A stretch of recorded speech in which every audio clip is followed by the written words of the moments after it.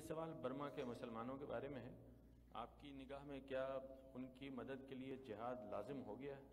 اور اس سلسلے میں ہمیں کیا کرنا چاہیے؟ یہ یہ بڑا افسوسناک مسئلہ ہے۔ آپ جانتے ہیں کہ کوئی گیارہ لاکھ کے قریب یہ لوگ ہیں۔ انگریزوں نے انہیں وہاں جا کر آباد کیا تھا۔ جب یہ آباد کیے گئے تو اس وقت یہ تقسیم دنیا کی نہیں تھی۔ قومی ریاستوں کی صورت میں جو تقسیم دنیا کی ہوئی اور خاص طور پر دوسری جنگ عظیم کے بعد، یہ تقسیم اس وقت کی بڑی طاقتوں نے کی۔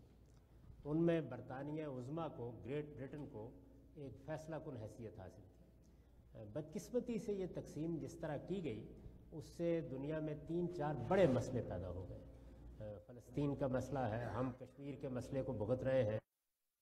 کا ایک مسئلہ، یہ روہنگیا کے کوئی گیارہ لاکھ کے قریب ایک ملین پیدا ہوا ہے، یہ یہاں سے پیدا ہوا ہے کہ قومی ریاست کے تصور میں انسان کے ایک حق کا انکار کر دیا گیا ہے۔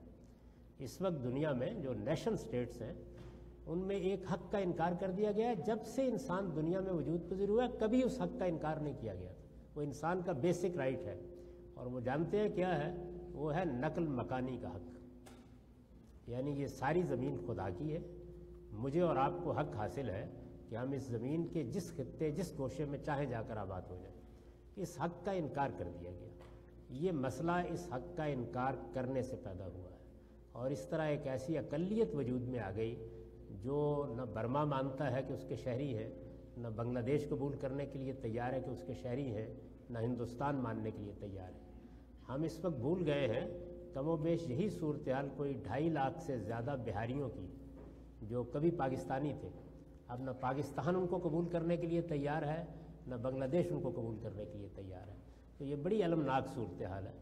تو میرے نزدیک جہاد اور اس طرح کی باتیں تو مسلمان معلوم نہیں کیسے کر ڈالتے ہیں۔ اس وقت وہ اس پوزیشن میں نہیں ہیں۔ اور یہ باتیں ان کو کرنی بھی نہیں چاہیے۔ ہمیں چاہیے کہ ہم دنیا کے ضمیر کو متوجہ کریں۔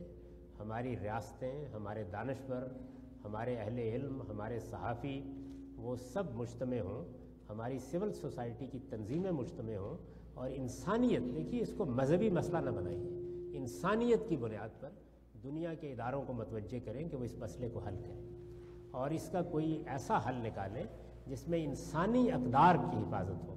یعنی کیا ان کے بچے یہ حق نہیں رکھتے کہ وہ تعلیم پائیں؟ کیا ان کو یہ حق نہیں ہے کہ وہ کسی ملک کے شہری کہلائیں؟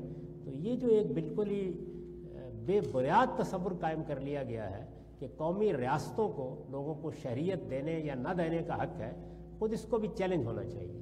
آج سے دو سو سال پہلے دنیا اس سے واقف نہیں تھی۔ میں کبھی کبھی سوال اٹھاتا ہوں کہ یہ لوگ جو آسٹریلیا میں گئے تھے اور ایک بہت بڑے بر اعظم کو جا کے انہوں نے آباد کر لیا اور وہ جو امریکہ میں آئے تھے، یہ یہاں کے باشندوں سے پوچھ کر آئے تھے۔ انہوں نے بھی اسی طریقے سے گرین کارڈ حاصل کیا تھا۔ یہ بھی اسی طریقے سے ریاست کی شریعت حاصل کرنے کے مراحل سے گزرے تھے۔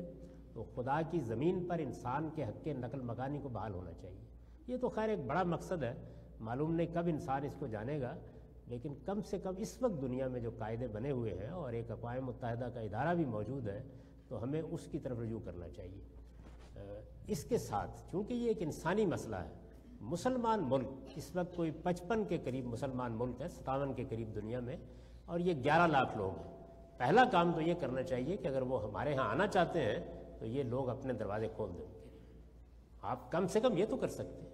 کہ آپ آئیے اور اگر آپ دیکھیں تو تقسیم کر کے بھی آپ لیں تو شاید چالیس پچاس ہزار سے زیادہ ایک ملک کے حصے میں نہیں آئے گی۔ اچھا آپ یہ بھی کر سکتے ہیں کہ جن ملکوں کے پاس مسائل زیادہ ہیں وہ ذرا بڑی تعداد لے لیں، جن کے پاس کم ہے وہ کم تعداد لے لیں۔ آپ بنگلہ دیش کے ساتھ بھی بات کر سکتے ہیں، کیونکہ اس کی سرحد ساتھ لگتی ہے، تو دنیا کے باقی لوگ ان کی آباد کاری میں مدد کر دیں اور وہی ان کو جگہ دے دیں۔ تو میرے نزدیک یہ کرنے کے کام ہے باقی یہ جو ہم ہر موقع پر جہاد فرمانے اٹھ کھڑے ہوتے ہیں، اس کے نتیجے میں آپ بھی مریں گے، ان کو بھی ماریں گے اور جو باقی مسلمان ہیں، ان کی موت کا بھی سامان ہے۔